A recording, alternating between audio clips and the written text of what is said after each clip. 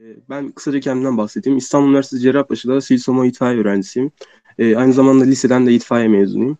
Ee, Serkan abimizin aracılığıyla Ulusal Keşif Arama Kurtarma Derneği'nin e, üyesi olduk. E, bu afet gibi durumlarda biliyorsunuz müdahale etmek için elimizden gelen her şeyi yapıyoruz. Öncelikle yaşanan afetten dolayı hepimizin başı sağ olsun. Ölenlere Allah'tan rahmet, yaralılara acil şifalar diliyorum. E, bugünkü konumuz Serkan abimizin ve derneğin aracılığıyla düğümler ve kurtarmada kullanılan ekipmanlarla ilgili ufak bir e, sohbet tarzında bir bilgi alışverişi yapacağız kendimizce. E, kurtarmada kullanılan ekipmanlar ve düğümler ve bağlar ve düğümler e, aynı zamanda ekipmanlardan bahsedeceğiz. Bunlardan e, kurtarma ekipmanları olarak en çok tercih edilenlerden birisi karabina. Karabinalar genelde yüksek yüksekten iniş çalışmaları için başta olmak üzere diğer kurtarma çalışmalarında da kullanılan ve sertleştirilmiş alüminyum ya da çelikten imal edilen ürünler şey ekipmanlardır. Kurtarma bağlantı ekipmanlarıdır. Bunlar e, iki türe göre sınıflandırılıyor. Tasarım şekline göre karabinalar ve kapı türüne göre karabinalar. Tasarım şekline göre karabinalar dediğimiz takdirde e, bu da kendi içinde dört farklı e, birim ayrılıyor. Oval karabinalar, D karabinalar, asimetrik D karabinalar ve armudi karabinalar yani HMS e, dediğimiz diğer adıyla karabinalar olarak değerlendiriliyor. Oval karabinalardan bahsedelim. Bunlar e, daha önceden çok kullanılan fakat dayanımlarının düşük olması sebebiyle artık çok tercih edilmeyen karabinalardır. E, iki ucu yumuşak ve simetrik hatlara sahiptirler. Bu yüzden de çekerini olumsuz etkiliyor. Ee, şöyle de bir durum var. Yüke maruz kaldığında yük karabinaların kapı eksenine geliyor ve bu da dayanımını oldukça düşürüyor. Bu yüzden e, fazla şu an şu aralar çok tercih edilmiyor. Bunun yerine HMS'i e, biz daha çok tercih ediyoruz. Onlara da geleceğiz şimdi. E, simetrik ve olması makara sistemleri ve yapay tırmanış için avantaj sağlıyor. Ayrıca malzemeyi istiflemek için de ideal bir e, ekipmandır. Bir başka e, tasarım şekline göre ekipmanımız karabinamız D tipi karabinalar. Bunlar e, oval karabinaların aksine kapı hani oval karabinalarda yük kapı kısmına geldiği için dayanım düşüyordu ya. Bunda da tam tersine yükü e, gövde kısmına aktardığı için dayanımları oldukça yüksektir. E, D karabinalar aynı malzeme boyuttaki oval karabinalardan daha hafif daha ve daha güçlülerdir taşımak için, malzeme taşımak için oldukça idealdir. Ve asimetrik D karabinalarımız var. Bunlar da D tipi karabinalarımızın aslında aynısı. Tek farkı e, özür dilerim. E, e, neydi ismi ya? kapı manteşsizin bulunduğu ucun e, daraltılmasıyla elde ediliyor. Bu da e, kapı açıklığının daha fazla olmasına sebep oluyor. Bu şekilde ipin içeriye girmesi daha kolay oluyor. Yani şu mouse'umu görebiliyor musunuz farenin olduğu yeri? Evet Nurullah evet. görünüyor. Burası diğer karabinaya göre daha dar olduğu için kapının açılma ekseni daha fazla oluyor. Bu da ipin içeri girmesini kolaylaştırıyor. Fakat bunda özür dilerim. E, malzeme taşınabiliyor fakat malzemeyi karabinadan çok zor e, çıkarıyoruz. Diğer karabinalara istinaden. Bunun dışında armudi karabinalarımız var. HMS olarak geçiyor. HMS dediğimiz şey de aslında Almanca'da yarım kazık bağı anlamına gelen bir kelimenin kısaltılımı. Ee, karabinaya da bu şekilde kullanım şey tercih edilmiş. Çünkü bu karabinalarda yarım kazık düğümü çok e, etkili bir düğüm olarak kullanılıyor. E, çok geniş ve armudu andıran yuvarlak yapısından dolayı malzeme taşımak ya da daha yaygın olarak kilitli modelleriyle emniyet almak, emniyet kolu üzerinden iniş emniyeti, e, iniş ve emniyet ekipmanlarını kullanmak amaçlı kullanılıyor. Bu kilitli kilitli armodi karabinalarımız dediğim gibi Almanca'da yarım kazık düğümü denen bir e, kelimenin kısaltılımı olarak belirtiliyor. E, yarım tip kazık düğümü bu tip karabinaları sorunsuzca kullanılabiliyor. Çok başarılı bir şekilde kullanılabiliyor. Aynı zamanda HMS karabinanın özelliklerinden birisi gövde kısmındaki e, yani aman özür dilerim. Şurası çok geniş bir yapıya sahip olduğu için içinden geçen ipin bükülmesini engelliyor. Bu da e, ipin daha az yıpranmasına sebep oluyor. Onu da hemen kısaca göstereceğim bir saniye.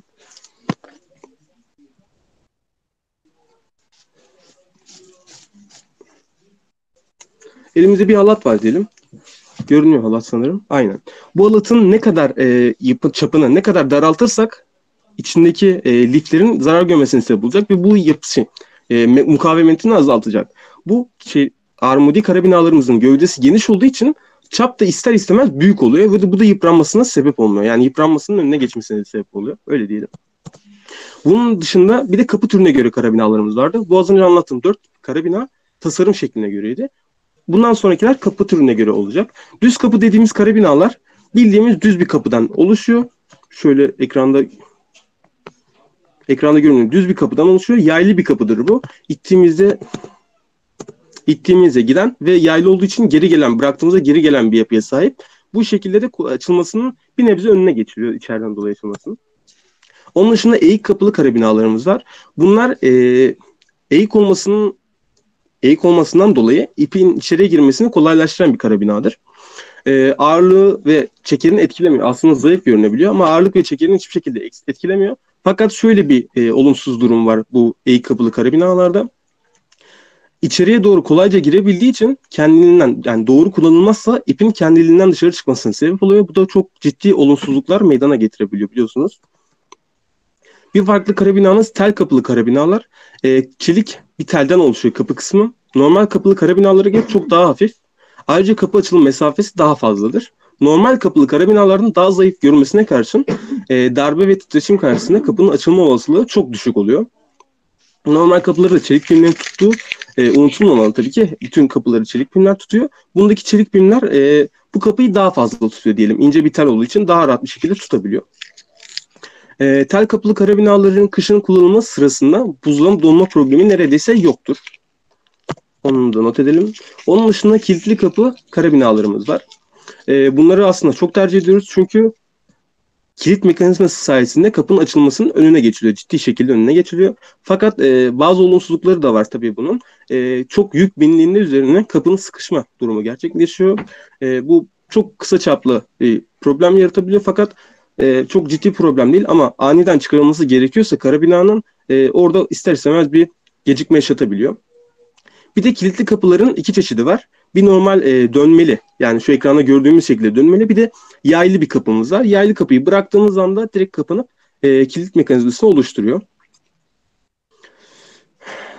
Burada diyebildiğimiz başka bir şey var mı? Yok sanırım.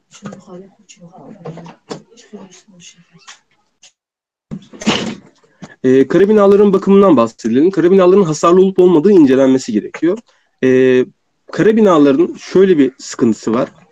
En ufak çatlaklar bile yarı yarıya çekerini azaltıyor karabinaların. Çünkü e, çatlaklar çelik olduğu için bu karabinaların çoğunluğu e, yük bindiğinde çatlak ister istemez genişliyor ve ciddi kırılmalara sebep olabiliyor. Ve biz bunu kullanım esnasında kırılmasının sebep olması e, yüksekten düşmemiz gibi çok ciddi tehlikeleri beraberinde getirecektir. Aynı zamanda e, keskin köşeler, korozyon, lekeler veya aşırı aşınmış noktalar olmaması gerekiyor kara binalarda. Kara bina kapısı ve kilit mekanizmasının zorlanmadan kolayca açılıp kapanabildiği kontrol edilmeli. Pin ve perçinin eğik ya da eksik olmaması kontrol edilmeli. E, gaga yuvasında tam oturması, gaganın şey, gaganın yuvasına tam oturması kontrol edilmesi gerekiyor. Bu e, kontrollerin herhangi birinin başarılı olmaması durumunda kara binanın kesinlikle kullanılmaması ve imha edilmesi gerekiyor. E, genel eğilim 6-7 metre üzerindeki yüksekliklerden düşen kara binaların emekli ayrılması yönünde. Fakat bazı e, araştırmalar 6-7 metre yükseklikten düşen kara binaların e, çekerinde olumsuz bir durum yaşanmadığını söylüyor. Ama bu konuda net bir bilgi birlik, birliği olmadığı için de e, genel eğilim 6-7 metre yükseklikten düşen kara binaların kesinlikle emekli ayrılması yönünde oluyor. Kara binaların temizliğinden bahsedelim. E, temiz tutulmalı, tozdan korunmalı, aşınırıcı asitler ile asla temas ettirilmemelidir. Korozif maddelerle asla temas ettirilmemelidir. Tuzlu suyla temasında karabinalar bol ılık suyla, soğuk veya sıcak değil, ılık suyla yıkanması gerekiyor. Problemli kapıların daha iyi açılmasını sağlamak için, çalışmasını sağlamak için gaga noktalarına hava üflememiz gerekiyor. Bu olumlu sonuç vermezse karabinayı ılık sabunlu suda yıkadıktan sonra iyice durulamamız gerekiyor. Mekanik aksamını sadece VD40 dediğimiz bir yağ ve bu benzerlikteki e, yağlayıcılarla kullanmamız gerekiyor. Taşan fazla yağ, yağlayıcı maddeyi iyice sildiğimizden emin olmamız gerekiyor. E, kuru tip yağlayıcılar kullanırsak bu karabinaların bakımında üzerinde gelen toz ve e, pisi, kiri e, üstünde tutmayacağı için bakımları daha güvenli oluyor, daha temiz oluyor, daha sağlıklı oluyor. Karabinaların saklama koşulları nemli ve tuzlu ortamlarda kullanılmaması gerekiyor, saklanmaması gerekiyor. Islak giysilerimizin cebinde e, tutulmaması gerekiyor. e, fiziksel bombeleri olan kara binalar yani dediğim gibi zarar görmüş kara binalar hiçbir şekilde kullanılmaması gerekiyor. E, bunun dışında çok şey yok. Kara binaların incelemesine gelelim. E, bu ekranda gördüğümüz aslında bir alüminyum şey e, sertleştirilmiş alüminyumdan imal edilmiş kara binalar. Sertleştirilmiş alüminyum ve çelikten imal edilmiş kara binalar arasındaki fark e, daha hafif olması yönünde. Yani çelik kara binalar çok ağır. Kara, e, çok ağır dediğim o kadar ağırlık yok aslında. Yaklaşık olarak 400-500 gram belki 1 kilograma kadar çıkabilir. Ama e, alüminyum sertleştirilmiş alüminyum yapılmış kara binalar çok hafif ve e, çok sağlam kara binalar. Bu kara binaların üstünde aslında e, bilgileri yazıyor. Şu ekranda gördüğümüz yerde kara binanın çekerleri yazar. Hangi tür kara bina olduğu ve çekeri yazıyor. Kısaca bahsedelim. Burada kilonewton cinsinden e, ya, anal eksenli yani dikey eksende 22 kilonewton. Her kilonewton 100 kilogram eşit olduğu için de yaklaşık olarak 2.2 ton ağırlık taşıyabileceğini belirtiyor. Bir saniye. E, yanal eksende burada yukarı aşağı görünen okların 8 Newton çekere sahip olduğunu belirtiyor. Yani yaklaşık olarak 8 800 gram kilogram ağırlığını e, taşıyabileceğini belirtiyor. Yanal eksen dediğimizde sağ ve sol gördüğümüz kısım. Bir de kapı açık çekerini belirtmiş burada. Bu da kapının açık olduğunu gösteren bir sembol ve yanında 6 kilonewton olduğunu belirtiyor. Bu da yaklaşık olarak 6 kilonewton e, ağırlığı yükü taşıyabileceğini belirten bir e, nokta aslında. Bir de kara binanın türünü de gösteren bir sembol bulunuyor kara binaların üstünde. Bu her kara binanın üstünde vardır bu uyarı bilgiler. Her kara binanın üstünde belirtilir. Ee, bu gördüğümüz Ar Armudi karabina, HMS karabina ve kilitli bir şekilde kullanılan, kilitli kapısı olan bir karabinamız bu. Geçiyorum buraya da. Sormak istediğiniz bir soru varsa bu arada sorabilirsiniz. Bir başka kullanılan ekipmanımız makaralar. Ağır yüklerin veya kazazedelerin yüksek noktalarının çekilmesinde, gerdirilmiş iplerde, karşıdan karşıya geçişlerde tek veya tek tek veya birden fazla kombinasyon halinde kullanılabiliyor. Üç tane e, makaramız var. Tekli, çiftli ve üçlü makaralarımız.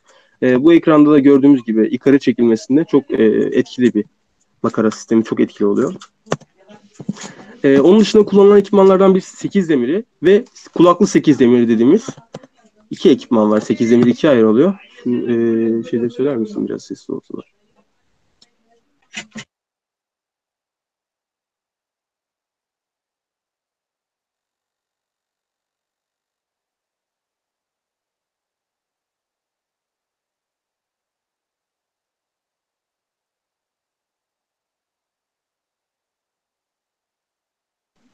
Özür dilerim.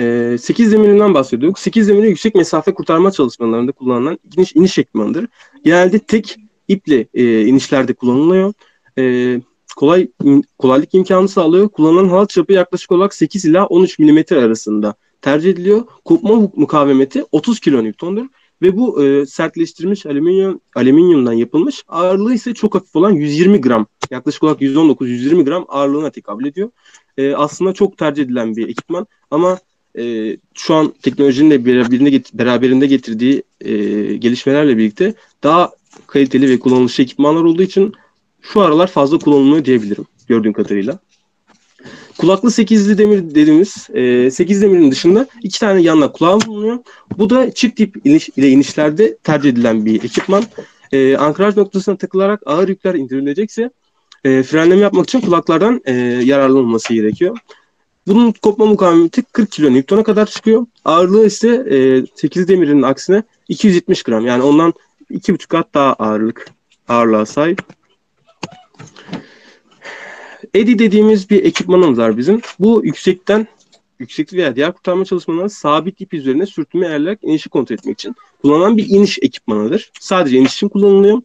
Ee, ipin herhangi bir noktasında konumlanmasını sağlıyor. Yani istediğimiz bir ipin istediğimiz bir noktasına bu e, ekipmanı kurarak şu ekranda gördüğümüz şekilde ekipmanı kurarak istediğimiz noktadan başlayabiliyoruz e, iniş ya da çıkış yapmaya. E, sabit hatlarda çalışmak için kendinden frenli yani istediğimiz zaman frenleyebiliyoruz ve e, yeni gidelim şu an değil dersi. Sabit hatlarda çalışmak için kendinden frenleyen anti, anti panik işlevi mevcuttur. Anti panik dediğimiz durum nedir? E, aniden aşağı düşüş durumu gerçekleşir sırada kolu kendimize çekerek panik e, anti panik işlevi şey, sistemini kullanıyoruz ve düşüşü engelliyor. Bir anda düşüşü kapatıyor. Sistemi kapatıyor. E, inişlerde güvenlik almadı kullanılıyor. Kolun sert çekilmesi durumunda az önce belirttiğim gibi düşüşte bir anda kolu çekiyoruz ve antipanik işlevini e, otomatik olarak kilitlenerek inişi durduruyor. 9, 10 ya da 11 mm çapındaki halatlarda kullanılması tercih ediliyor. Ağırlığı yaklaşık olarak 360 gram olarak belirtiliyor. Ee, onun dışında bir de ID dediğimiz bir ekipman var. Bu da aslında Edi'nin birebir aynısı diyebilirim fakat farklı bir marka modeli. Bunun dışında e, özelliklerinden birisi de şu belirttiğimiz e, tuttuğumuz kol yön değiştirebiliyor. Yani istediğimiz şekilde ayarlayabiliyoruz bu kolu. Bu da eğik ya da yamuk inişlerde tercih yani kullanılması çok e, verimli oluyor. Yatay veya az eğimli yerlerde çok kullanışlı bir ekipman olarak kullanılıyor. E, inişlerde ve güvenlik almada kullanılıyor. Kolun sert çekilmesi durumunda bunda da antipanik işlevi var ve otomatik olarak kilitlenerek sistemi durduruyor. inişi durduruyor. Nurullah bir sorumuz var. Buyurun. Karabinalardaki kılcal çatlakları nasıl tespit edebiliriz? E, bir fikrin var mı? Ee, bu konuda çok fikrim yok ama zaten belli olur. Çizikler veya çatlaklar kendi kendine belli olur. Bu da çekerini zaten. E, bu arada karabinaların bakımında da kontrol ediliyor. Yani e, bu temiz hava solunum cihazların bakımında hani içeriye hava verir, basın verdiğimizde ne kadar şekilde patladığı oluyor ya yani. Kitleme konumunda kol kitlenerek eller bırakılıyor. Yani yüksek bir yerde çalışma yapılacaksak e, kolu kitleyerek duruşu engelleyen yani freni yaptıktan sonra çok rahat bir şekilde eller boşlukta çalışabiliyoruz. Yani kendi kendine sistem kapanmış oluyor zaten. Bunun ağırlığı yaklaşık 330 gram. ASAP dediğimiz bir ekipman var. Bu da yüksek mesafe kurtarma çalışmalarında kurtarma personeli veya kazazedenin emniyet iniş ve çıkışını sağlamak için. Yani bu hem iniş hem çıkış yapabilen bir ekipman. Emniyet ipine takılan bu ekipman ip boyunca aşağı ve yukarı yönde hareket edebilme özelliğine sahip. Dikey veya açılı ip üzerinde kullanılabiliyor. Sadece bir kişinin emniyetini sağlamak için tasarlanmıştır. Ee, yaklaşık olarak 10.5 ile 13 mm çapındaki halat üzerinde kullanılıyor. Cumarlı makara dediğimiz bir ekipmanımız var. Ağır yüklerin veya personellerin yukarı çekilmesine kullanılan bir ekipmandır. Bu sadece çıkış ekipmanı, iniş ekipmanı değil. Cumar sistemi sayesinde ipin tek taraflı hareket etmesine müsaade eder ve bu sayede çekme esnasında yükü geriye bırakmaz. Yani yukarı çıktığımız zamanlarda e, atıyorum bir sebepten dolayı bıraktık ya da ipi tutmak için ekipmanı bıraktığımızda ekipmanın geri aşağı kaymasını engelliyor bu sistem. Onun dışında göğüs jumarımız var. Bu da iyi jumarı gibi aynı sistem. Ee, üzerinde bulunan tırnaklı cumar sistemi sayesinde ip üzerine tek yönde hareket etmeyi özellik sağlıyor. Yukarı çıkış ekipmanı.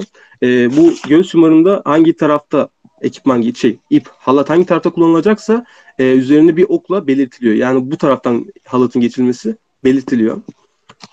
Fır döndü dediğimiz bir ekipman var. E, iple yapılan çalışmalarda ipe yüklemesi sonucu ipin dönmesini ya da ipte bulgu oluşmasını engelliyor. Yani biz ipi kullandığımızda bazen bu şekilde dönmeler olabiliyor. Bu mukavemeti ve ipin e, dayanımını azaltabilir. Bu fır döndü dediğimiz ekipman bunu düzelterek ipin düz bir şekilde kalmasını sağlıyor. Yaklaşık olarak 91 gram ağırlığında yük çekirdeği 2.3 ton. 23 kilonewton yük çekiri mevcut. Grillon dediğimiz konumlandırıcımız var. Hassas boy ayarlama imkanı sunan mekanizma ve 12,5 mm kalınlığındaki statik ipten oluşan emniyet kemerinin karındaki bağlantı halkasına bağlanarak yani bu emniyet kemerini kullandığımız bir ekipman. E, düşeyde hassas konumlanma sağlayan ya da emniyet kemerinin sağ veya sol yanlarındaki bağlantı halkalarına bağlanarak beli destekleyen rahat bir çalışma ortamı sunan ayarlanabilir konumlanma ekipmanıdır. Yani istediğimiz yerde çalışacaksak bu ekipmanı sabitleyerek e, o şekilde çalışabiliyoruz. Geri sarımlı düşüş durdurucu retract dediğimiz bir ekipmanımız var. E, dikeyde yapmış olduğu iniş ve çıkış çalışmalarında olası şok düşüşünü engellemek amacıyla kullanılıyor. Birçok ekipmanımız zaten şok düşüş engelleyicisi var. Bu antipanik işlevi dediğimiz. Onun dışında el jumları dediğimiz bir ekipmanımız var. Yük, e, yükü ip üzerinde sabitlemede veya makara kombinasyonu ile yapılan kurtarma çalışmalarında ipi kendimize doğru çekerken bize kolaylık sağlayan bir ekipman var, ekipmandır. Üzerinde bulunan tırnaklı jumar sistemi sayesinde ip üzerindeki tek yönde hareket etme özelliği vardır. Liberator dediğimiz bir ekipmanımız var. E, bu çok bilgi gerektiren bir ekipman. Açıkçası ben bu ekipman hakkında çok bilgiye sahip değilim. O yüzden e, net bir şey söyleyemiyorum. Bunu geçiyorum müsaadenizle. Zaten uzmanlık gerektiren bir ekipman. Hadi, e, Nurullah istersen şöyle söyleyelim. Bunu daha e, gelişmiş işte AFAD gibi veya daha büyük dernekler e, dikey tırmanış veya inişlerde binaya tırmanırken veya işte kuyuya inip çıkarken otomatik bir makinedir. Kendini e, buna bağlıyorsun. E, cumarı ipe geçirir gibi ipe geçiriyorsun ve otomatik olarak hiçbir güç gerektirmeden e, motorlu bir cihaz sizi yukarı veya aşağıya hareket ettiriyor. Bu şekilde açıklayabiliriz. Teşekkür ederiz. Emniyet kemerlerimiz var. Bunlar e, iki tip olarak belirtiliyor. Normal tüm vücut emniyet kemeri ve belden emniyet kemeri olmak üzere. Bu da iniş çıkış için kullanılan e, personeli e, personelin korumasını sağlayan bir ekipman. Farklı çeşitleri mevcut itfaiye teşkilatında. Kurtarma üçgeni dediğimiz bir ekipmanımız var. Üzerinde herhangi bir ekipman bulunmayan kaza zedelerin hızlı bir şekilde tahliye edilmesine kullanılıyor. Bu aynı zamanda bence belki daha önce görmüşsünüzdür. İsveç'te bir ineğin yaralı bir ineğin e, taşınmasında, helikopterle taşınmasında kullanılan bir e, ekipmanımızdı. E, kaza zedenin birinci açık olması gerekiyor bu ekipmanla taşınırken. Böyle bir püf noktası var. Püf noktası var. Bel tipi emniyet kemeri aynı şekilde dediğimiz emniyet kemerinin bel tipi olanı aynı şekilde e, düşme riskine karşı personeli koruyor. Perlon dediğimiz ankraj sapanlarımız var. Bunlar e, kara ağız açıklıklarının yetmediği geniş profillerden güvenli bağlantı noktası oluşturmak için e, kullanılıyor. Esnek yapıları ve istenen ölçüde üretilmeleri sayesinde birçok profil tipine göre uygundur. Yani ince, kalın, büyük hiç fark etmiyor. Sapanlar dediğimiz var trafik kazaları başta olmak üzere deniz veya benzeri çukur yerlerde düşen araçların çıkarılmasında, çukur yerlere düşen hayvanların kurtarılmasında, ağır enkaz döküntüleri, ağır eşyaların kaldırılmasına kullanılan malzemedir. E, Hatay'da bizim ekibimiz çalışırken yan tarafta itfaiyeciler, sanırım gördünüz mü bilmiyorum.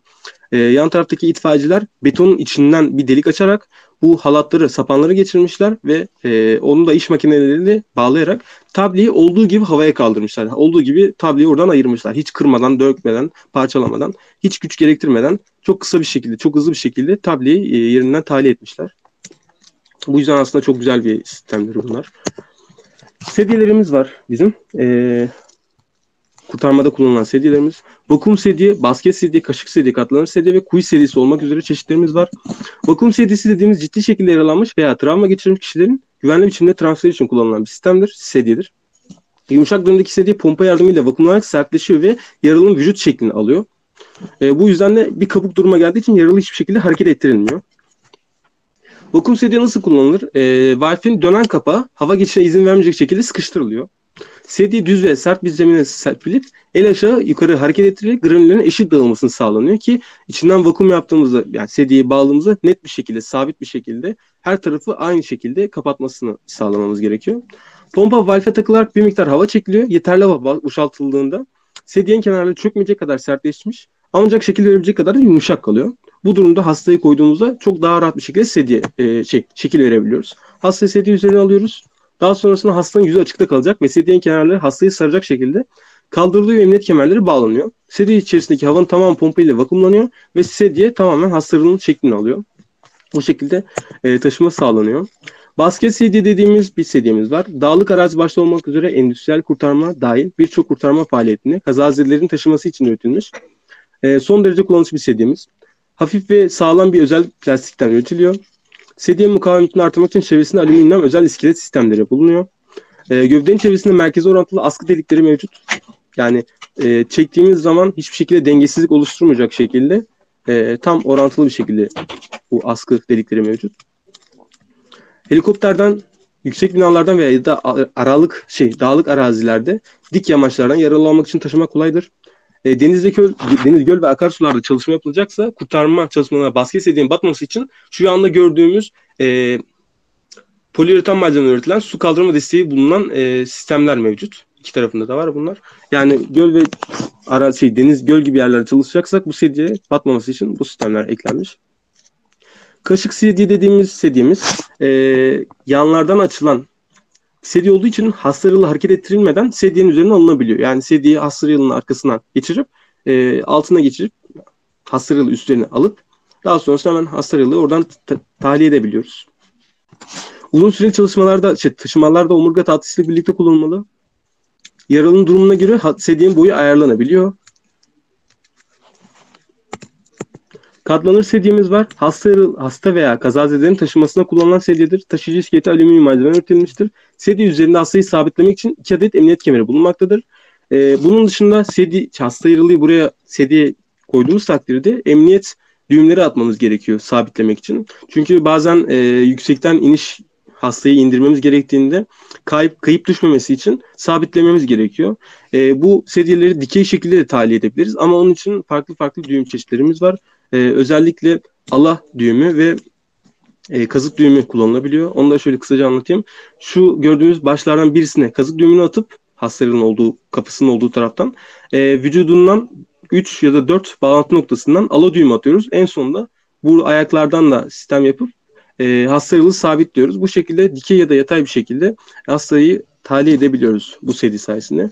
Kuyu sedisi dediğimiz şey de dikey taşımalarda kullanılan bir ekipmanımız. Genelde kuyu gibi dar alanlarda yapılacak olan çalışmalarda kurtarma çalışmalarında travma geçirmiş kazazedinin stabil duruma getirerek e, kuyudan dikey olarak çıkarılması için kullanılan sedyedir. Sedye üzerinde yaralı sabitleme ve taşıma kemerleri mevcut. Diğer kurtarma çalışmalarına tercihen kullanılabilmektedir.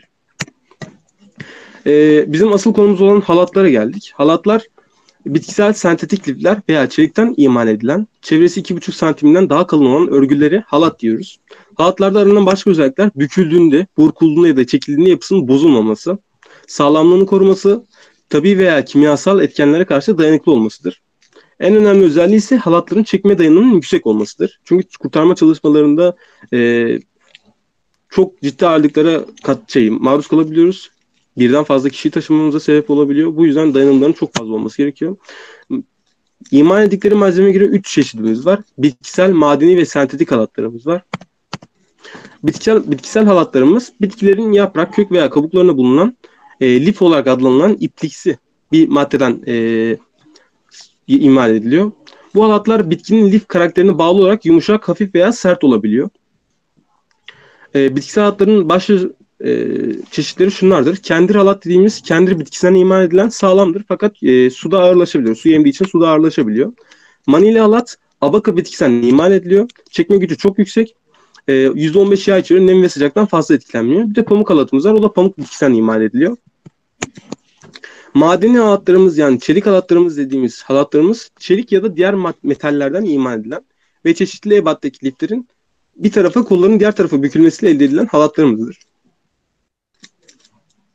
Madeni halatların kollarında lif adedi halatın kullanım amacına uygun olarak ayarlanmıştır.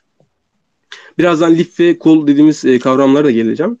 E, madeni halatlardaki lif ve kol sayısı ile bunların sarım şekli halatın karakteristik özelliğini vermektedir, değerlerini vermektedir. 6 çarpı 19K özel halat dediğinde lif özlü 6 koldan ve her kol 19 liften oluşan bir halat e, anlaşılmalıdır. Bu zaten kullanılan halatın e, cinsini falan muhakkak bilmemiz gerekiyor.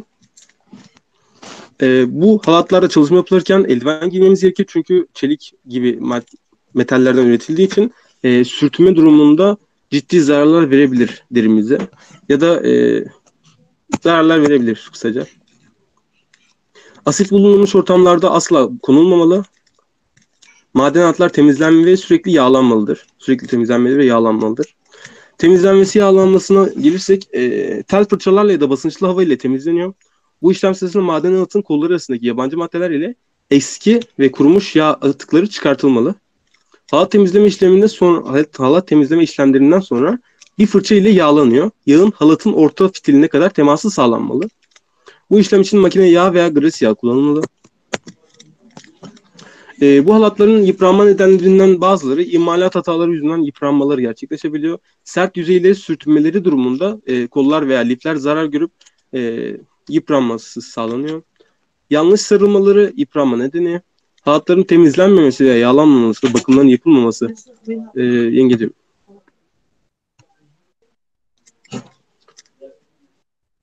Uzun süre sıcakta bırakılmamaları gerekiyor.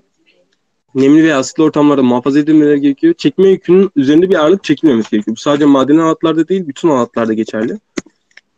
Sentetik halatlarımız var. Sentetik yüklerin halat sanayisinde kullanılmasıyla çok amaçlı olarak üretilmeye ve kullanılmaya başlanmıştır. E, bitkisel halatların yaklaşık iki buçuk katı bir çekme gücüne sahiptir. E, sentetik halatlar ve diğer halatların asıl geldiğimiz kavramlarına geliyoruz. Lifler, plasa, kol ve halat dediğimiz e, terimlerimiz var. Bunlar lif dediğimiz şey halatın imal edildiği malzemenin en ince parçasıdır. Flasa liflerin bir bükülmesiyle elde edilen halatın ana elemanı ve aynı zamanda en uzun parçasıdır.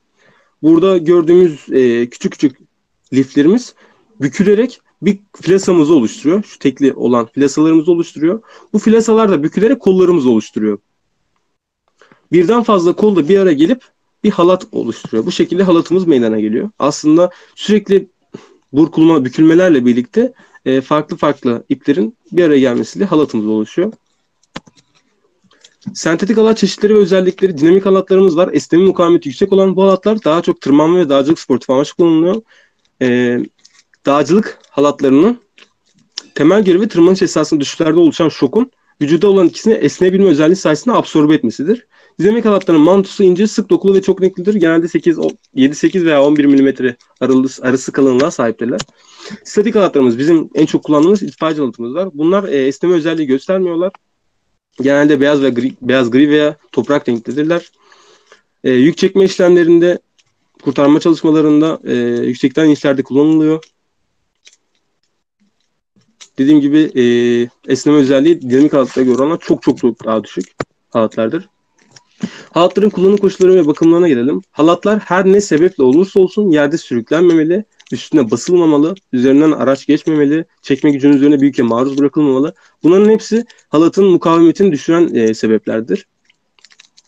Halatlar keskin ve pürüzlü yüzeylerden, kum tanesi veya kristallerden, kimyasal maddelerden, köz, kıvılcım ya da diğer ısı kaynaklarından korunmalı. Akü asidi, pil asidi, petrol ürünleri veya diğer kimyasal ile temas eden halatlar asla tekrar kullanılmamalı. Halatlar doğrudan güneş ışığına maruz bırakılmamalı. Ultraviyole ışınları lifleri kırıyor çünkü. Aşırı sıcak ortamlarda bulundurulmamalı. Bitkisel halatlar asla yağlanmamalı. Operasyonlarda aynı halat aynı anda bitkisel ve sentetik halatlar birlikte kullanılmamalı. Yani sentetik halat kullanıyorsak farklı halatlarımız da sentetik halatlar olacak ya da bitkisel halat kullanıyorsak sadece bitkisel halat kullanacağız. Ee, kullanım amacına uygun bağ atma ve düğüm teknikleriyle kullanılmalı. Halatların muhafaza edilmesi, e, depoların, depolandığı yer kemirgenler ve aşerelere karşı korunmalı. Uzun süre ambarlarda bulunan halatlar belli aralıklarla açılıp havalandırılmalıdır. E, bu halatların bu arada kullanım ömürleri mevcut. Yaklaşık olarak 10 yıl e, halattan halata değişmekle birlikte. E, statik halatlar yaklaşık olarak 10 yıl kullanılabiliyor.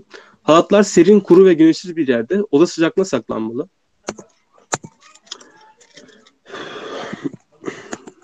Halatların temizliği ve ıslak halatların kurutulması. Halatlar sabun ile ılık su içinde el ile yıkanabilir ve durulanabilir. Kesinlikle sıcak veya soğuk su kullanmıyoruz. Halatlar özel ip yıkama fırçasıyla yıkanabiliyor. Kendi düğüm veya çeki ilmeği gibi düğüm atarak, kedi düğümü veya çeki ilmeği gibi düğüm atarak çamaşır makinelerinin deterjan kullanmadan ılık su ile de yıkanabiliyor. Çok tercih edilmiyor çünkü çamaşır makinesinin dönmesi sırasında sağa sola çarparak yine e, darbe alabiliyor ve bu da zarar verebiliyor halata. Islak veya yıkanan halatları raflarda kurutma makinesi veya ısı kaynakları üzerinde ve doğrudan güneş ışığından kurt, kurutmaktan kaçınıyoruz. Yani hiçbir şekilde ısı kaynağı e, halatın üstüne gelmiyor. Doğal şekilde kuruması gerekiyor. Halatlar güneşte kuruması halinde sertleşi ve e, iniş esnasında liflerin at, liflerde atma, kopma meydana gelebiliyor. O yüzden e, dediğimiz gibi sıcak ortamlardan kesinlikle kurulması gerekiyor. Islak veya yıkanan halatları merdiven üzerine sererek kurutun veya dik bir zemin üzerinde kangal yaparak dikey konuda asın. Yani yukarıdan aşağı doğru şekilde e, kurduğumuz zaman sistemi halatın e, duruşunu su sürekli akacak, sıvı sürekli akacak ve bu şekilde daha hızlı bir kuruma sağlanacak. Islanan veya yıkanan halatları sıkı sarmamamız gerekiyor. Düğümsüz olduğundan emin olmamız gerekiyor.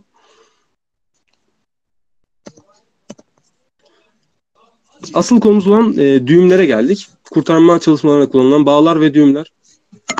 Bunlardan bazıları taşıma bağı 5 metrelik şahsi halatları taşımak için kullanılıyor. Kelep bağı 5-12-20 metrelik halatların toplanması veya bir muazzam nokta edilmesi kullanılıyor. Elde ve omuzda kelebek tipi halat toplam bağı e, geçiyoruz bunları. Başlangıç düğümleri, istasyon, kazık bağı. Asıl bizim e, konularımız aslında bunlar. Oval karabinalar nerede kullanılır demiş arkadaşımız. E, oval karabinalar dediğim gibi ilk başta e, yük taşımada falan kullanılıyor şu anda. Çünkü kurtarma çalışmalarında dayanımı çok düşük olduğu için tercih edilmiyor. Dağcılıkta karabina nerede kullanılabilir? E, dağcılıkta çok tercih edilmiyor. Onlar daha çok e, kendi ekipmanlarıyla iniş, yap, iniş çıkış yaptığı için. Ama dediğim gibi dağcılıkta şöyle kullanılabilir. E, yorum yapıyorum tamamen. Bir yerde bağlantı noktası oluşturarak aşağı düşme durumunda e, karabinadan kendimizi bağlayarak sabitleyebiliriz. Deprem ya da yangın sebebi çıkış yolları kullanmamız hali geldiyse E, bu durumda balkondan ya da yüksek binalar, yüksek yerlerden iniş aslında bizim çok yapabileceğimiz bir şey değil. Çünkü e, bu konuda çoğu kişi eğitimsiz ve tecrübesiz olabiliyor. Aynı zamanda çok tehlikeli bir durum. Evde her evde alat bulunamıyor. E, belde emniyet düğümümüz var. Bunu şu an elimde bulunan iple yapamayız çünkü çok küçük bir ip. E, onun geçeceğim, anlatacağım sonra. Belde emniyet düğümünü kendimize yaptığımız takdirde ipin bir ucunu bir yere sabitleyebiliriz evde.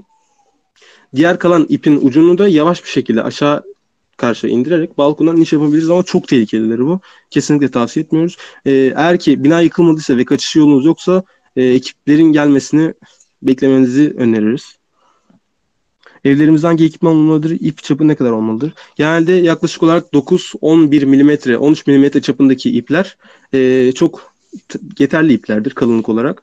E, evlerimizde hangi ekipman olmalıdır? İpler ya bu ekipmanlarımız aslında kurtarma çalışmalarını kullandığımız için evdeki durumlarda çok tercih edilmiyor. Yani e, kişisel olarak kullanabileceğimiz yer yok aslında. Çünkü kurtarma çalışmaları için kullanıyoruz biz bunları daha çok. Yüksekten iniş yapmak için ya da yüksekten bir kaza zedeyi aşağıya tahliye etmek için kullanıyoruz. O yüzden evde e, net bir şey diyemem bunun için. Yani kullanmanızı hiçbir şekilde önermeyiz. Bu alatlar kurtarma çalışmalarında kullanılıyor bu alatlar genelde. E, tabii bunun dışında e, bazı sektörlerde, inşaat sektöründe taşıma için kullanılabiliyor halatlar, şey madeni halatlar falan. Biraz daha yavaş olsanız hocam. Kusura bakmayın. Karabina kaç kilogram kadar taşır? Karabinaların çeşidi ve türüne göre e, üzerinde ne kadar kilogram taşıyabileceği e, belirtiyor. Az önce göstermişim. Tekrar geleyim müsaadenizle oraya.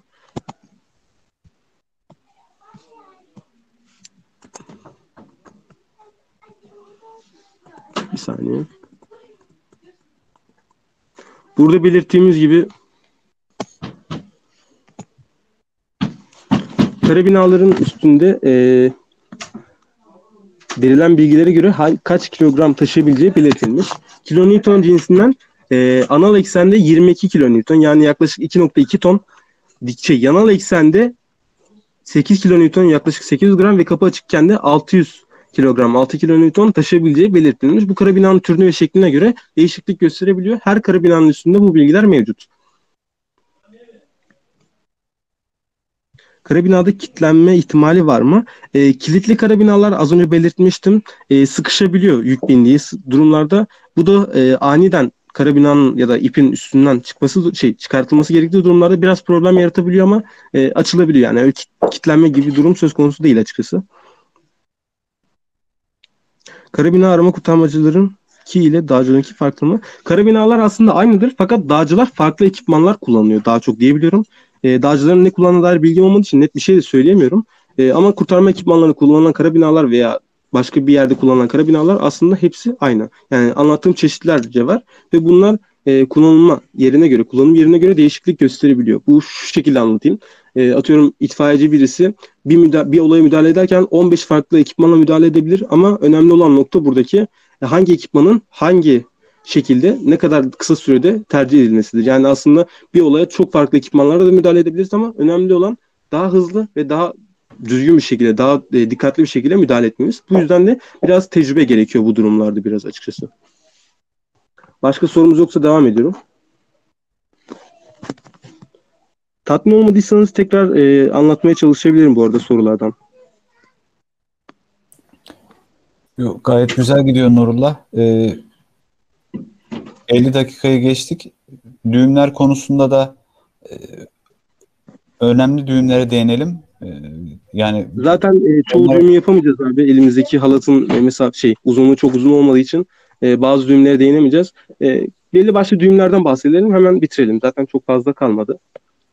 Açık kazık bağı dediğimiz ankraj noktalarına atılan istasyon başlangıç düğümüdür. Çapa noktası tabir ettiğimiz sabit nesne üzerine atılan istasyon başlangıç düğümü. Aynı zamanda sedye bağlama çalışmalarını az önce gösterdiğim kat, e, katlanabilir sedyede e, kazık bağı ve alamı düğümü gibi demiştim ya.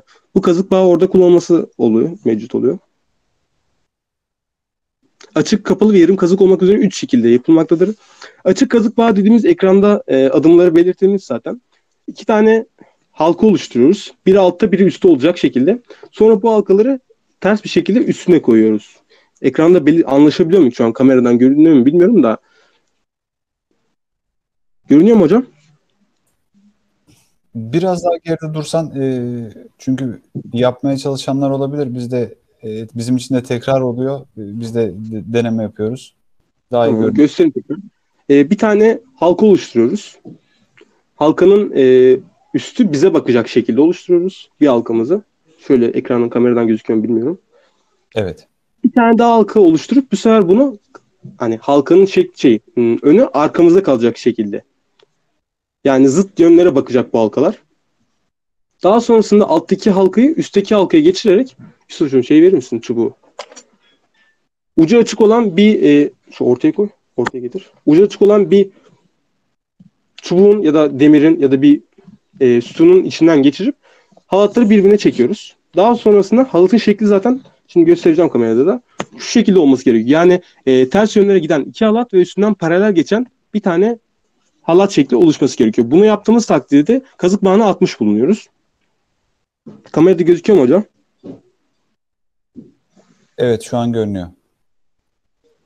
İki farklı yönde bulunan halat ve üstünden paralel geçen bir halat daha mevcut. Tekrar yapılışını göstereyim. Tut şunu. Bizim tarafımıza bakan bir e, daire şeklini oluşturuyoruz. Aynı zamanda diğer tarafa karşı arkamıza bakan bir daire şekli oluşturuyoruz ve bunları ters bir şekilde üstüne koyuyoruz. Koyduktan sonra çubuğun içinden bu açık kazık yani ucu açık olan bir nesneye yapabiliyoruz bunu. Çubuğun içinden geçirip iki ipi birbirimize çekiyoruz. Ters yönlere çekiyoruz. Ve e, kamerada gözüktüğü gibi zıt kutuplara giden iki yönde giden ip ve üstünden paralel geçen bir ip. Pardon şöyle göstereyim. Zıt kutuplara giden iki ip ve üstünden paralel geçen bir ip. Bu açık kazık bağı. Ee, bir ben mi göremiyorum acaba? Ağrıdan gözükmüyor hocam.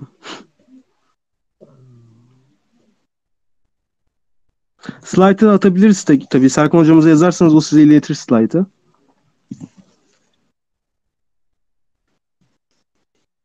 Yani şimdi kameradan şu an gözüküyor ama tekrar yapılışını göstereyim son bir kez. Olabildiğince geride durursan e, daha iyi olur. Biz çünkü alt evet, evet. Tamam.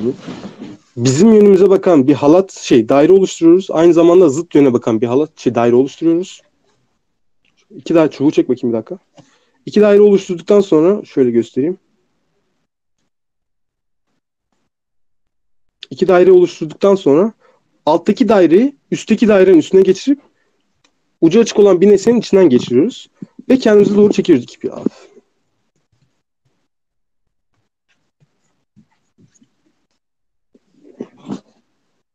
Halatın içinden geçirip kendimize doğru çekiyoruz. Bundan sonra zaten halatın şekli ortaya çıkıyor. İki zıt yönde giden ip ve üstünden paralel geçen bir ip. Tamam mıdır? Evet, teşekkürler Nurla. Güzel. Kapalı kazık dediğimizde aslında e, ucu açık olmayan bir nesneye yapılabiliyor. Çubuğu getir tekrardan. Şöyle kameranın da görebileceğim. Biraz daha uzağa.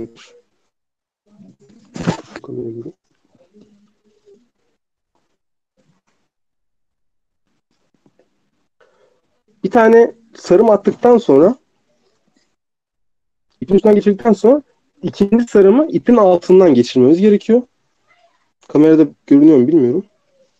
Evet, şu an gayet net.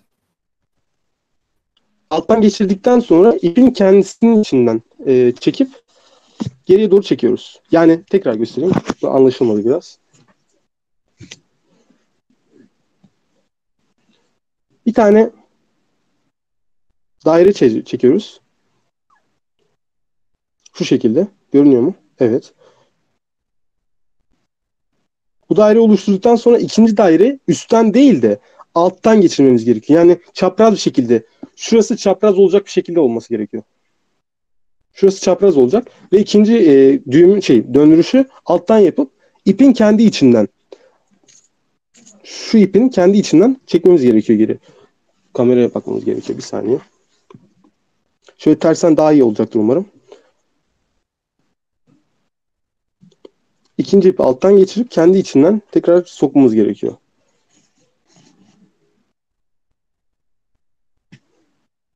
Anlaşıldı mı acaba? Evet Nurla, anlaşıldı. Gönül isterdi ki bu düğümlerin çalışmasını yüz yüze yapalım ama e, herkes ulaşamıyor bu durumda eğitimlere. E, online olması tercih edildi dernekçe. Evet. O yüzden e, böyle problemler yaşanabiliyor. Kusura bakmayın tekrardan. İstanbul için e, bunu yüz yüze yapabiliriz eğer talep olması durumunda. E, yine İstanbul Bahçelievler Dernek Merkezimizde e, bunu yapabiliriz talep olması. Daha önce yapmıştık zaten Serkan Hocam siz hatırlıyorsunuz. Evet. E, talep unutulduğunda ben seve seve gelip tekrar elimden geldiğince müdahale, yardımcı olurum. Bu sefer e, daha uzun iplerimiz olacağı için ve diğer kurtarma ekipmanlarını da e, görebiliriz diye düşünüyorum. Doğru mudur? Kara binaları, EDI, Evet. ID. Evet. Bunlar benim- derneğimizde var. Ha, evet. Bunları da bir şekilde görebiliriz. Yarım kazık bağ dediğimiz bir düğümümüz var. Bu e, HMS dediğimiz e, kara binanın adını aldığı düğümdür aslında. Onu da şöyle özet gösterebiliriz. Elini çek bakayım. Bu, bunu elimizde yapabiliriz. Bir parmağımızın üstünden ipi geçirdikten sonra bir halka oluşturuyoruz. Aynı iple, geçirdiğimiz iple. Halkayı görebiliyor musunuz? Evet. Evet. Bu halkanın iç kısmını parmağımıza takarak iki tarafından çekiyoruz. Bu yarım kazık bağı dediğimiz bir düğüm. Tekrar gösteriyorum. Parmağımızın üstünden bir halka geçiriyoruz. Şey, ip geçiriyoruz. Geçirdiğimiz ipi bir halka oluşturuyoruz geçirdiğimiz ipten. Şöyle halkayı göstereyim. Bu halkanın iç kısmını yani bize bakan kısmını kameraya göstereyim. Şöyle bize bakan kısmını parmağımızın içinden geçirip iki ucun iki ipin iki ucunu çekiyoruz. Bu şekilde yarım kazık bağı atıyoruz. Anlaşıldı mı? Parmağımız üstünden bir ip geçiriyoruz. Geçirdiğimiz iple küçük bir daire oluşturup dairenin iç tarafına parmağımıza geri geçiriyoruz ve ipin iki ucunu geri kendimize aşağıya doğru çekiyoruz. Bu yarım kazık bağı. Anlaşıldı mı? Anlaşıldı diye düşünüyorum. Genellikle karabina ile iniş yaparken kurtarma personelinin daha hızlı, şey daha kontrollü inmesini sağlayan, aynı zamanda yüksek mesafeden yaralı tahliyesinde de kullanılan bir düğümdür. Bu düğümün dezavantajı hareketli bir düğüm olduğu için, çektiğimizde hareket ettiği, için e, ip ipe sürtündüğünden dolayı iç, ipin mantusunda aşınmalara neden oluyor. Bu da dayanımı azaltıyor ve ipin kopmasına sebep olabiliyor çok uzun süreli çalışmalarda. Ee, diğer bir dezavantajı ise iniş sırasında ipte burgular oluşturmasıdır. Bu yüzden de fır döndü dediğimiz bir ekipmanı kullanabiliyoruz. Sekizli düğümü dediğimiz bir düğümümüz var. İpin ip uçlarında sabit bir halka oluşturmak için veya ankaraj noktalarına istasyon başlangıç düğümü olarak kullandığımız en temel düğümlerdendir. Bunu e, itfaiye personeli de arama kurtarma personelinin he- herkesin bilmesini e, bilmesi gerektiğini düşünüyorum. Çok kolaydır aslında. Hemen kısaca onları da anlatacağım. E, açık, kapalı veya çift kulaklı 8 olmak üzere 3 şekilde yapılmaktadır. Açık 8'li düğümümüz şöyle göstereyim. Kamerada gözüküyor mu? Şöyle bir e, nasıl denir? Halka gibi bir şey oluşturalım. Bir tur attıktan sonra ipin kendi etrafında tam bir tur attıktan sonra ipin arkasından tekrar sokup yukarı doğru çekiyoruz. Ve 8 şeklini alıyor göründüğü gibi. Tekrar gösteriyorum. Özür dilerim. Oluşturduğumuz şöyle bir daha küçük göstereyim. Şöyle bir e, ipin şeklini verdikten sonra ipin üstünden bir tur atıyoruz. Arkasından bir tur atıyoruz kendisinden. Ve arkasından yani bir tam tur attıktan sonra ipin arkasından yukarı doğru çıkartıyoruz.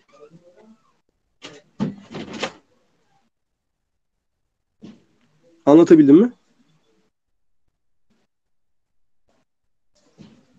Tekrar göstereyim. Yarım halka oluşturduktan sonra ipin kendi etrafında bir tam tur atıp tam tur şöyle bir tam tur attıktan sonra ipin arkasından e, tuttuğumuz ipi yukarı doğru çekiyoruz. Bu kadar.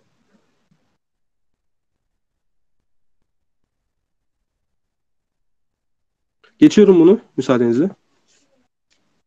Bu yaptığımız açık 8 düğümlü. İp uçlarının açılıp liflenmemesi, ipin alt ucuna atlayarak atılarak ipi, e, ipin makaradan sıyrılıp çıkmaması, aynı veya farklı kalınlıkta iki ipi birbirine bağlamak için kullanılan bir düğümdür.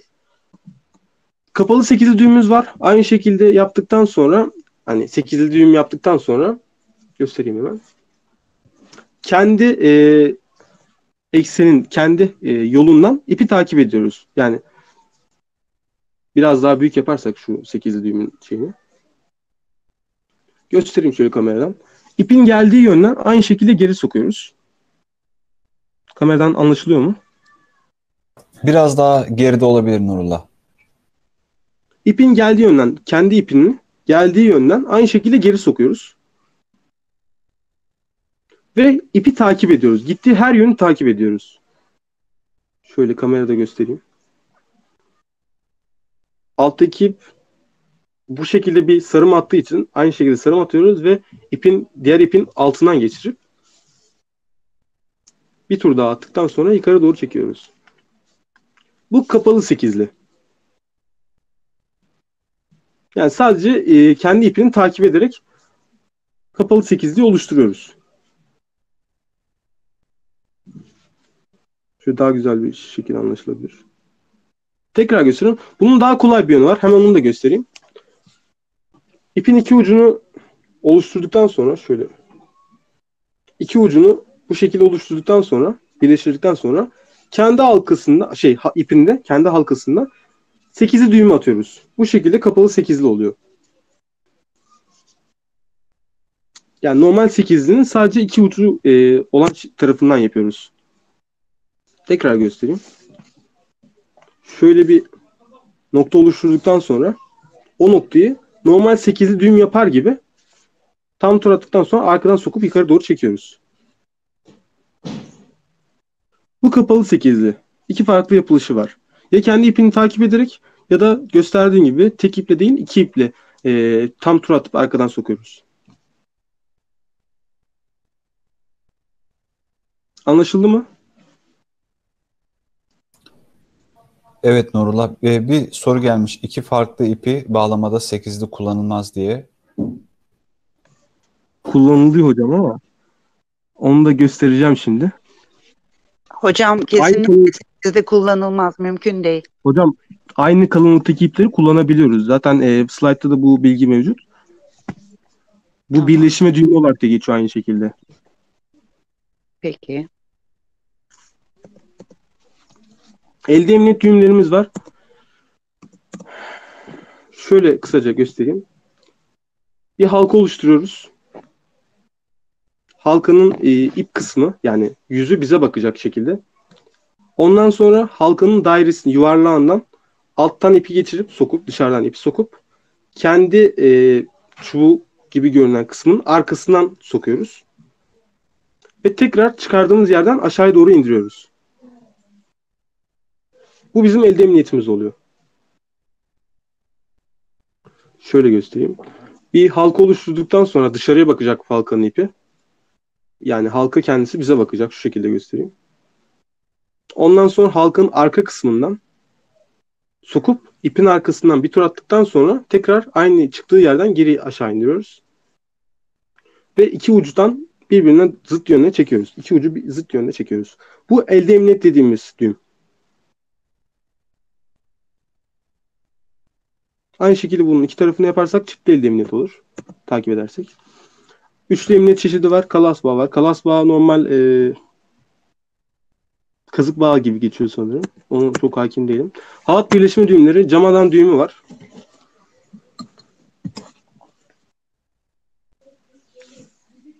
E, camadan düğümü de çok basit bir düğüm aslında.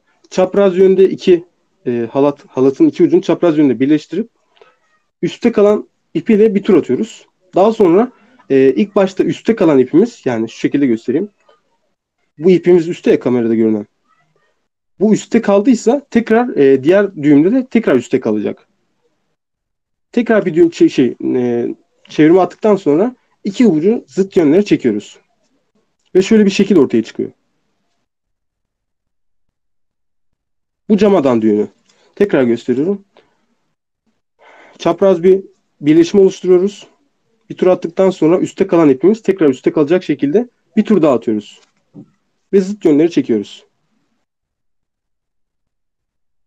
İstediğiniz kadar çekin bu ip açılmaz. Hatta bu iplerin e, düğümlerin üstüne bir de el, tekli emniyet düğümü atıyoruz. Tekli emniyet düğümü. Bu da ipin sıkışmasını ve e, kendi kendine çözülmesinin önüne geçiyor. Bu tür düğümlerin hepsi çekildiği takdirde, üstüne yük bindiği takdirde sıkışıp açılmasını e, engelliyor. Camadan düğümü dediğiniz aynı kalınlıktaki iki ipi birbirine eklemek için kullanılan düğümdür. İpin iki ucu birleşik ip halkası oluşturmak için de kullanılmaktadır. Gemici düğümümüz var. Camadan düğümünün e, bir benzeri. Şöyle bir yarım halka oluşturduktan sonra halkanın arkasından içeriye sokuyoruz diğer ucunu. Soktuktan sonra e, kendi ekseninde yani halkanın arkasından çevirip tekrar büyük ipin büyük dairenin içinde şöyle göstereyim. Arkasından soktuktan sonra büyük dairenin içinden geçirip kendi ip içinden yani o e, arkadan soktuğumuz ipin altından geçirerek zıt yönlere çekiyoruz. Bu şekilde bir şekilde oluşuyor. Bu gemici düğümümüz. Tekrar göstereyim. Şu kameraya doğru göstereyim. Biraz ters olacak ama. Ters dışarıdan bir ipi sokup halkanın üstünden geçiriyoruz. Yarım halkanın üstünden. Ve kendi ipinin içinden zıt yönlere doğru çekiyoruz.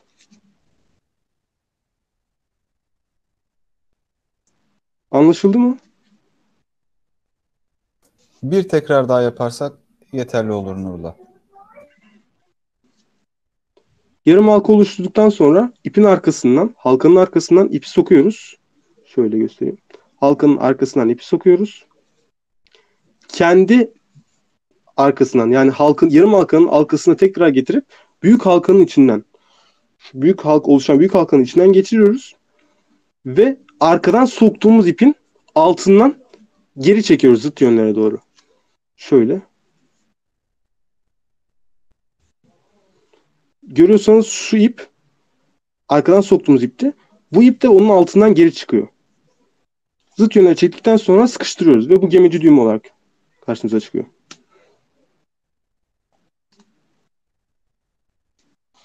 Bu da farklı kalınlıklardaki iki ipi birbirine eklenmesine kullanılan camadan aynı kalınlıkta e, gemici düğümü farklı kalınlıklardaki iki ipi birbirine kullanmak için şey birleştirmek için kullanılıyor. E, bu düğümde dikkat edilmesi gereken kural ince ip kalın ip sarmalıdır. İnce ip boğan ip olmalı. İnce ip boğan ip olmalı. Yani sıkıştıran ip ince ip olmalı. Tekli ve çiftli gemici düğümü olmak üzere iki şekilde kullanılabiliyormuş. Balıkçı düğümümüz var. Aynı veya farklı kalınlıklardaki iki ipi birbirine eklemek için kullanılan düğümdür. İpin iki ucunu birleştirerek ip halkası oluşturmak için de kullanılmaktadır. Kullanım öncesinde vücut ağırlığı ile sıkıştırılarak ip uçlarının kayamayacak kadar uzun bırakılması gerekiyor. Bu biraz karıştırıcı olabiliyor aslında. Kafa karıştırıcı olabiliyor. Yani daireler tam oluşmuyor. Ee, çapraz bir şey oluşturuyoruz. İpleri üste getirerek kamerayı ayarlayamıyorum. Uçlar ne kadar uzun olursa daha rahat yapılışı olur. Çaprazı oluşturduktan sonra kendi çevresinde iki tane şey yuvarlak oluşturuyoruz. Şöyle kamerada gözüküyor mu? Yuvarlağı oluşturduktan sonra halkaların içinden ipin ucunu geçirip zıt yöne doğru çekiyoruz. Geçiriyorum bir saniye. Zıt yöne doğru çekiyoruz. Daha sonrasında diğer kalan iple aynı işlemi bu tarafta yapıyoruz. Şöyle biraz daha uzatayım ipin ucunu. Bir tarafı yaptık. Şimdi diğer tarafı yapıyoruz. Aynı şekilde iki daire oluşturuyoruz. Kendi etrafında iki tur atıyoruz. Daha sonra attığımız e, ipin ucunu kamerada göstereyim. Dairelerin içinden sokup zıt yönde çekiyoruz. İp kısa olduğu için biraz problem yaratabiliyor. İpi iki tarafı şey, iki tarafı da yaptıktan sonra şöyle kamerada göstereyim. Zıt yönlere doğru çekiyoruz. Ve bu kendi kendine orada sıkışıyor. Şöyle dörtlü bir şekil oluşuyor gördüğünüz gibi. Bu bizim balıkçı düğümümüz. E, farklı kalınlık, kalınlıklardaki iki ipi birbirine bağlamak için. E, Ayşen Hocam burada 8 ip birleşme düğümü de var. Sanırım yanılmıyormuşum galiba. Biraz yani az önce dediğim ipin aynısını burada da varmış. Birleşimi düğümü olarak. Farklı şey aynı kalınlıktaki iki ipi. Hocam e, şimdi e, değişik e, balıkçı düğümü iki ipin birbirine bağlanması aynı kalınlıkta. Camadan düğünü de aynı kalınlıkta iki ipin birbirine bağlanması. Gemici düğümü ince ve kalın ipin birbirine bağlanmasında kullanılır. Yani Evet, tamamıyla ben, doğru. Ben, slide'ı- ben bu slaytı AFAD'ın kendi sitesinden yani kurtarma düğümlerin olduğu siteden hazırladım ve oradaki e, verilen bilgilerin aynısını neredeyse kopyalayıp yapıştırdım. E, orada camadan aynı kalınlık E, gemici farklı kalınlık, balıkçı hem aynı hem farklı kalınlıklardaki ip birbirine bağlayabiliyoruz diyor. Ve 8'li ip de burada verilmiş. Yani e, AFAD'ın kendi sitesinden aldığım için e, yanlış olduğunu düşünmüyorum. Yani AFAD yani yanlış bilgi vereceğini sanmıyorum. Ee, Evet. sekizliği de mi e, koymuş iki farklı ipin bağlanmasında? Aynı kalınlıklarda iki, iki farklı ipin birbirine bağlanmasında kullanılabilir demişti evet. Yani çünkü Sekiz- AFAD'ın sitesinden aldım. Evet.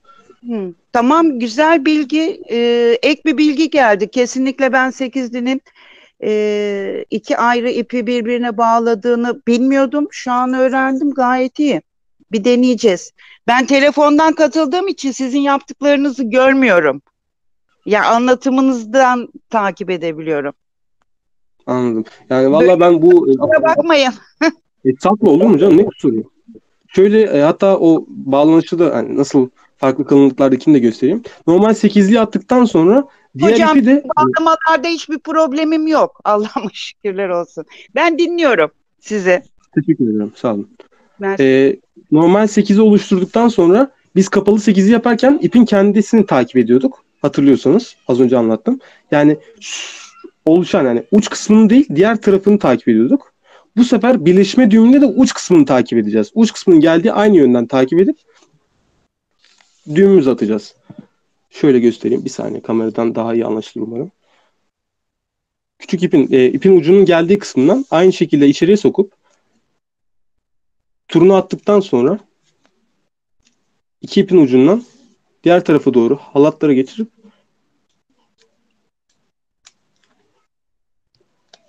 zıt yönlere doğru çekiyoruz ve bu şekilde birleşme düğümü olarak kullanıyoruz.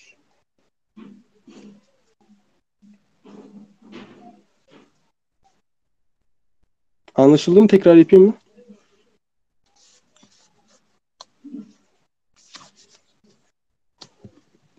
Bir tekrar daha alalım Nurullah.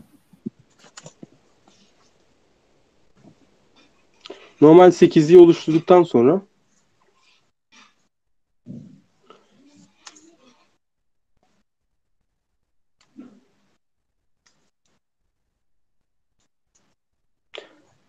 ip ucunun olduğu kısmını takip edecek şekilde dışarıdan aynı halatı takip ediyoruz. Şöyle kamerada göstereyim tekrar. Üstten geliyor. Sonra alttan tekrar çıkıyor. Bu iki ipin üstünden geçerek son ipin çıkışı yapıyoruz. Biraz daha ipi uzatmam lazım.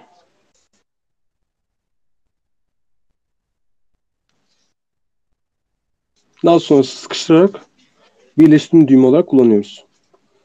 Yani kapalı 8'li e, kapalı 8'de ipin kendisini takip ediyorduk. Açık 8'de ipin uç kısmını takip ediyoruz. Farklı ip kullandığımız için kendi, diğer ipin uç kısmını takip ediyorduk. Ama kapalı 8 yaparken kendi ipini takip ediyorduk içeriden. Onu da bilgisini verelim, notunu düşelim. Tekrar anlatmama gerek var mı? Geçeyim mi? Devam edebiliriz. Geçelim Nurullah. E, pursik düğümlerimiz var fakat bu düğümlerin e, yapmak için ip biraz uzun olması gerekiyor. Benim ipimin boyu e, yetersiz olduğu için bunu şu an uygulama olarak gösteremeyeceğim. Sadece mantığını anlatacağım. E, bu şey pursik düğümünde balıkçı düğümü attıktan sonra şurada da zaten kamera ekranda görünecek. Şu balıkçı düğümünü attıktan sonra ipin içinden geçiyoruz. 3-4 tur atıp içinden geçirip çekiyoruz ve pursik düğümünü oluşturuyor. E, bu düğümlerin bu arada hepsi YouTube'da videoları da mevcut. E, istediğiniz zaman ya da anlatamadığım durumlarda e, YouTube'dan videosunu bulabilip tekrardan izleyebilirsiniz. İzlemenizi tavsiye ederim. Hatta bu düğümlerin e, sürekli olarak tekrarlamasını tavsiye ederim. Çünkü düğümler unutulabiliyor. E, bu yüzden hani ilgi duyuyorsanız ya da kurtarma çalışmalarında işinize yarayacağını düşünüyorsanız sürekli olarak belli periyotlarla e, tekrarlama yapabilirsiniz. Birebir aynısı YouTube'da videolarda bulabilirsiniz. Çok farklı kanallar e, çok fazla örnekleriyle yapmış bulunmakta. Pursik düğümünün mantığı kurtarma çalışmalarında ana ipi veya kurtarma personeli emniyete almak için kullanılan düğümdür. Bu düğümde dikkat etmemiz gereken kural pursik ipinin ana ipi bağlı, şey, boğabilmesi için ana ipin yarı kalınlığında e, yarı kalınlığından 1 mm fazla kalınlığa sahip olması gerekmektedir. Örneğin ana ipin kalınlığı 10 mm ise pursik ipinin kalınlığı 6 mm olmalı. E, bu düğüm ip germe ve kurtarma çalışmalarında cumar yerine de kullanılmaktadır. Yani ekipman yoksa elimizde cumar, el cumarı, e, göğüs cumarı gibi ekipmanlarımız yoksa pursik düğümünde kullanabiliyormuşuz. gövde tipi emniyet düğümü e, ala düğümü var. Ala düğümü az önce sedyede gösterdiğim gibi e, çapa noktasına, uç noktasına açık kazık düğümünü attıktan sonra ipin halatın kendisinde şöyle bir saniye şöyle atalım bir tane düğüm.